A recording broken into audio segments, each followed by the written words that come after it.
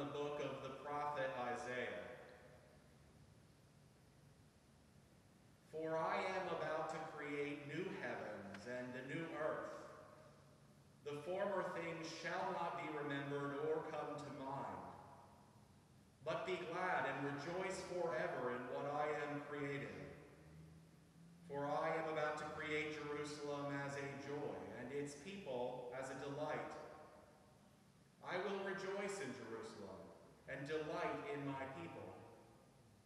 No more shall the sound of weeping be heard in it, or the cry of distress. No more shall there be in it an infant that lives but a few days, or an old person who does not live out a lifetime.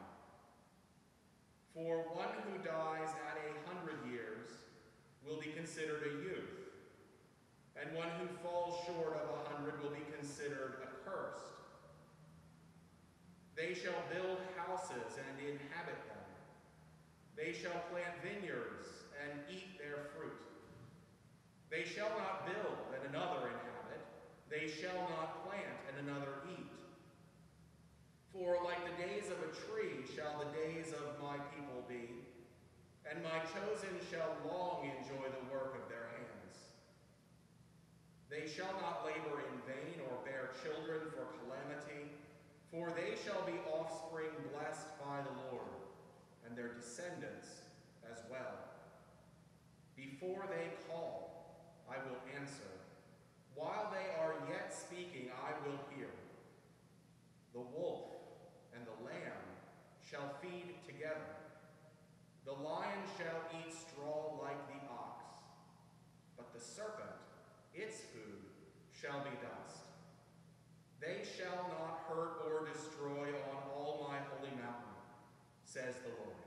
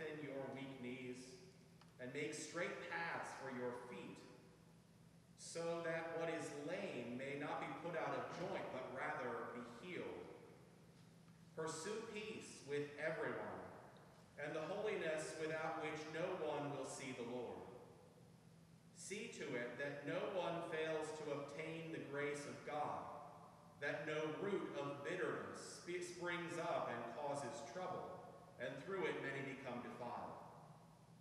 See to it that no one becomes like Esau, an immortal and godless person, who sold his birthright for a single meal.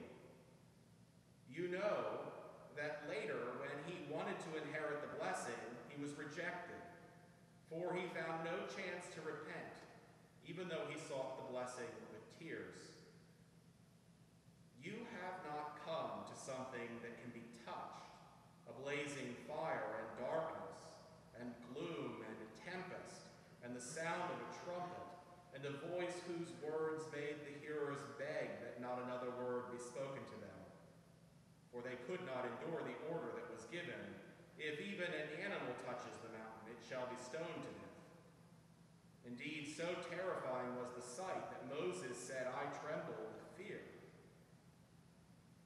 But you have come to Mount Zion, and to the city of the living God, the heavenly Jerusalem, and to innumerable angels in festal gathering, and to the assembly of the firstborn who are enrolled in heaven, and to God, the judge of all, and to the spirits of the righteous made perfect, and, and to Jesus, the mediator of a new covenant, and to the sprinkled blood that speaks a better word than the blood of Abel. Here ends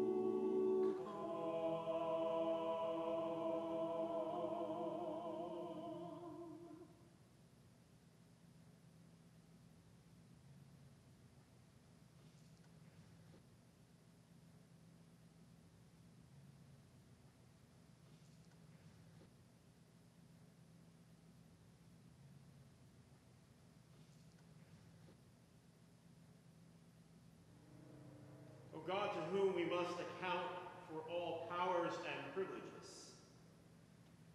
Guide the people of the United States in the election of officials and representatives, that by faithful administration and wise laws, the rights of all may be protected, and our nation be enabled to fulfill your purposes.